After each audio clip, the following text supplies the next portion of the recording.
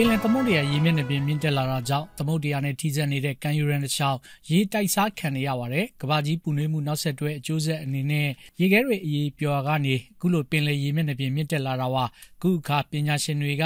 ရေတိုက်စားမှုကိုကာကွယ်ဖို့ဟိုရုံးကလိုရေသိမ်းတမန်တွေမဆောက်ဘဲတဘာဝနဲ့ပူနီးစက်တဲ့နီလန်တွေတုံးလာပါတယ်။ ကမာကောင်လေးတွေခုနာဖို့ကွန်ကရစ်လောင်းထားတဲ့ဘောလုံးတရံတဏ္ဍာကြောက်တန်းတူကိုဖန်တီးပြီးရေတိုက်စားမှုကိုကာကွယ်ဖို့ကြိုးစားကြတာပါအဲ့ဒီထဲမှာအခွန်ပါတဲ့ပင်လယ်တရဝါမျိုးစုံခိုအောင်နေထိုင်တာကြောင့်တဏ္ဍာကြောက်တန်းရှားပါနေတဲ့ဒေသကတရဝါတွေအတွက်လည်းအထောက်အကူဖြစ်စေပါတယ် Uh, traditionally eroding shorelines you place ဟို hard တုန်းက structures ကန်းဆက် on တစ်လျှောက်ကမ်းပါပြူတာတွေရအောင်လို့ကြောက်တုံးအတားအဆီးအကာရန်တွေချထားလေးရှိပါတယ်အခုတော့အဲ့နီလန်းတွေမသုံးတော့ဘဲနဲ့တဘာဝနဲ့အနီးဆက်ဆုံးနီလန်းတွေသုံးပြီးတော့ဆောင်ရွက်နေပါတယ်ဘောလုံးပုံစံလူလို့တန်တာ၆တန်းတွေကအဲ့ဒီလိုအပ်ချက်ကိုဖြည့်ဆွတ်ပေးပါတယ်ရင်းနေတရဝါတွေဖြစ်တဲ့ကမာကောင်လေးတွေဟာသူတို့ရှင်တန်ရဝင်းကျင်အတွက်အထောက်အကူဖြစ်စေသလိုပင်လယ်ရေတိမ်ပိုင်းတွေမှာပေါက်တဲ့ e-grass လို့ခေါ်တဲ့ရင်းနှီးပင်ရှိတွေရှင်တန်မှုအတွက်လည်းအထောက်အကူဖြစ်စေပါတယ်။ပင်လယ်သမုဒ္ဒရာကမ်းဆက်၄မီတာထက်မနက်တဲ့နေရာမှာပေါက်တဲ့ဒီပင်တွေဟာ ပင်လယ်ရင်းနေတရဝါခရုနဲ့တခြားအကောင်မျိုးစုံရှင်သန်ပေါက်ဖွားစေဖို့အပြန်အလှန်အထောက်အကူဖြစ်စေတာပါ။ oysters also filter about 50ကမာကောင်လေးတွေဟာတရက်ကိုရေကားလ90လောက်ကိုပြန်တန့်ပေးပါတယ်ရေနောက်တွေကိုပြန်ကြည်လာအောင်လုပ်ပေးသလိုရေစိုးရေညွတ်တွေကိုလည်းပြန်တန့်ပေးနေတာပါရင်းနှီးပင်ရှည်တွေဟာကမ်းရိုးတန်းရေတိုက်စားမှုအပါအဝင်ပင်လယ်ရေသရဝါတွေရှင်သန်ကြီးပြင်းရာဂေဟစနစ်မှာအရေးပါတဲ့အတွက်ဥပဒေနဲ့လည်းအကာအကွယ်ပေးထားပါတယ်။ဒီပင်တွေဟာကမ်းဆက်ကိုရိုက်ခတ်တဲ့ပင်လယ်လှိုင်းရဲ့အရှိန်ကိုအပြော့စေသလိုအပင်တွေကြားထဲရောက်လာတဲ့သဲနှုံးတွေကိုလည်းအငယ်ထိုင်စေတဲ့အတွက်ရေအောက်ကျမ်းမြေပိုထူလာစေပါတယ်။ yes so the more eelgrass sits in the bay ရင်းနှီးပင်တွေရေအောက်မှာရှိနေသမျှကဲရိုးတန်းတိုက်စားမှုတံကိုလည်းကာကွယ်ပြီးသားဖြစ်ပါတယ်ဘယ်လိုအပင်မျိုးပဲဖြစ်ဖြစ်ကမ်းပါတိုက်စားတာတွေမဖြစ်အောင်လို့အကာအကွယ်ပေးပါတယ်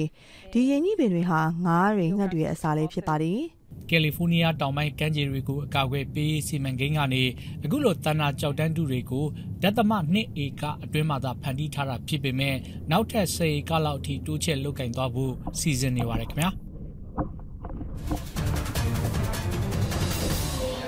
စေးဆောင်လက်ဝဲတွေ့ရှိတာကြောင့်ဆိုပြီးဖန်စီခံထားသူတွေကိုပြန်လွှတ်ပေးဖို့အမေရိကန်သမ္မတဂျိုးဘိုင်ဒန်ကမကြသေးခင်ကကြေညာခဲ့ပါတယ်။ဒါပေမဲ့လည်းအခုလိုအမိန့်နဲ့ပတ်သက်ပြီးတော့အားနည်းချက်တွေရှိနေကြောင်းနဲ့ဒီထက်ပိုပြီးတော့ဆောင်ရွက်ပေးဖို့အခွင့်အရေးလှုပ်ရှားသူတွေကထောက်ပြကြပါတယ်။ စေးကြောင်မှုကြောင့်ထောင်ဒဏ်ချမှတ်ခံရသူတွေတဲ့ဒီလုပ်ငန်းလုပ်ကိုင်နေသူတွေရဲ့အတုံးချမှုကိုခံရသူတွေလည်းပါဝင်ပါတယ်။စဉ်းစားချင်းချင်းနှံစွမ်းမရှိသူတွေနဲ့ဘာကုန်းမှတွက်ချက်စဉ်းစားမနေသူတွေအတွက်တော့ဘဝနဲ့ရင်းပြီးမှကိုယ့်လုပ်ရရဲ့နောက်ဆက်တွဲအကျိုးဆက်ကိုသိလာကြတာပါ။တခြားပြည်နယ်တွေကိုစေးကြောင်ရောင်းဝယ်ဖြန့်ဖြူးသူတွေကအယောင်းဝယ်ကနေရလာတဲ့ဝင်ငွေထွက်ငွေတွေကိုသူတို့ဗန်စင်းနဲ့မထည့်ပဲတခြားသူတွေရဲ့ဗန်စင်းကိုအသုံးပြုခဲ့ပါတယ်။ and for 9 months I ဘာ deposited ဖြစ်လာမလဲဆိုတာကိုမစင်စားဘဲနဲ့ကိုလာလောက်ကိုဗန်စီရဲမှာငွေတွေသွင်းခဲ့ပါတယ်ကျမကဆေးကြောက်အလွန်ပေါ်တဲ့ကယ်လီဖိုးနီးယားပြည်နယ်အော့ကလန်မှာပဲကြီးပြင်းလာတာပါ2009ခုနှစ်သူကောလိပ်ကျောင်းသူဘဝမှာတခြားသူတယောက်ကချင်းကပ်တိုက်တွန်းရာကနေဒီဆေးကြောက်ရောင်းတဲ့လုပ်ငန်းနဲ့ပါဝင်ပတ်သက်မိတာပါ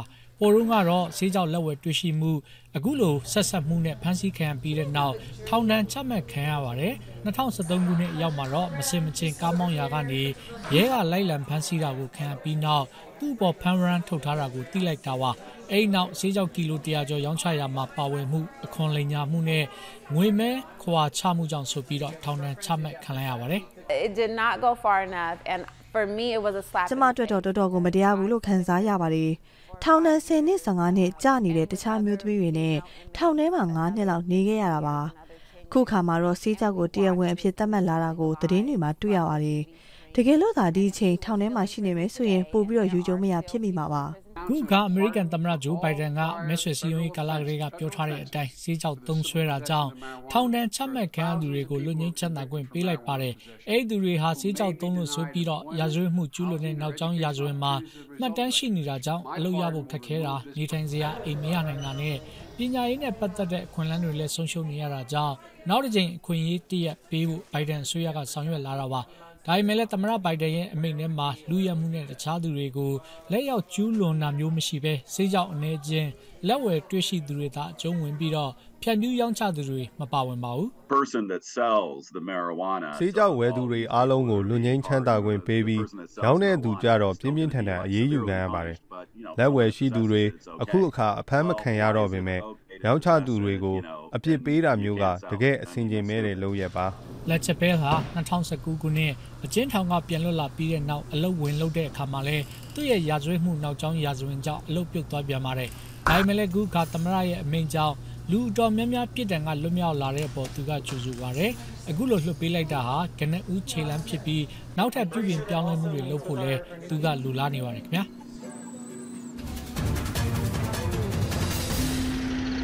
ဘာအိုတင်ပို့တဲ့ရွှေဖြုံသီးစစ်သူဘူး85ရာခိုင်နှုန်းလောက်အတွက်ရွှေဖြုံသီးတွေဟာအမေရိကန်ပြည်အောင်စု Illinois ပြည်နယ်ကစိုက်ခင်းကနေထွက်တာပါခုခါစိုက်ပျိုးရေးသမားတွေဟာထွန်ရက်စိုက်ပျိုးတဲ့အခါထွက်လာတဲ့ကာဗွန်ဒိုင်အောက်ဆိုက်ဓာတ်ငွေလျှော့ချဖို့ကြိုးစားနေတယ်လို့ပြားလိပ်ပြားစတဲ့အကောင်ငယ်လေးတွေကိုဆွဲဆောင်ပြီးအထွက်တိုးအောင်လုပ်နေပါတယ် There's a male and a female. ပန်းမှာလည်းအဖိုးမရှိပြီးပြားတွေကဝက်မုံလေးတွေကိုကူးလူးတည်ဆောင်ပေးပါတယ်ဝက်မုံတွေကူးပေးရင်ရွှေဖြုံသီးလည်းအထွက်တိုးပါတယ်နှစ်ပေါင်း150တက်တန်းရှိပြီဖြစ်တဲ့ Libis စစ်တုဘူးကုမ္ပဏီကစိုက်ခင်းတွေမှာမြေစီလွှာတွေပူကောင်းလာအောင်အတွက်စိုက်ပျိုးရေးသမားတွေကိုအခုလိုအကူအညီပေးဆောင်ရွက်နေတာပါဒီကုမ္ပဏီကနေ Illinois ပြည်နယ်အတွင်းနှစ်စဉ်ရွှေဖြုံသီးတန်ချိန်3,200လောက်ထွက်ပါတယ် The last three years, I've been raising. လွန်ခဲ့တဲ့3နှစ်အတွင်းဧက200လောက်ရွှေဖြုံသီးစိုက်တာမှာတန်20ကနေ26တန်အထိထွက်ပါတယ်ဒီအစီအစဉ်ကို2021ခုနှစ်မှာစတင်ခဲ့တာဖြစ်ပြီးစိုက်ခင်းပေါင်း38ခုဧကပေါင်း6000မှာစမ်းသပ်စိုက်ပျိုးခဲ့တာပါအမေရိကန်ပြည်ထောင်စုကထွက်တဲ့ကာဗွန်ဒိုင်အောက်ဆိုက်ဓာတ်ငွေ17ရာခိုင်နှုန်းဟာစိုက်ပျိုးရေးကဏ္ဍကဖြစ်ပြီးဒီပမာဏဟာလူနေအိမ်တွေနဲ့ရုံးတွေကထွက်တဲ့ပမာဏလောက်ရှိနေတာပါခင်ဗျာ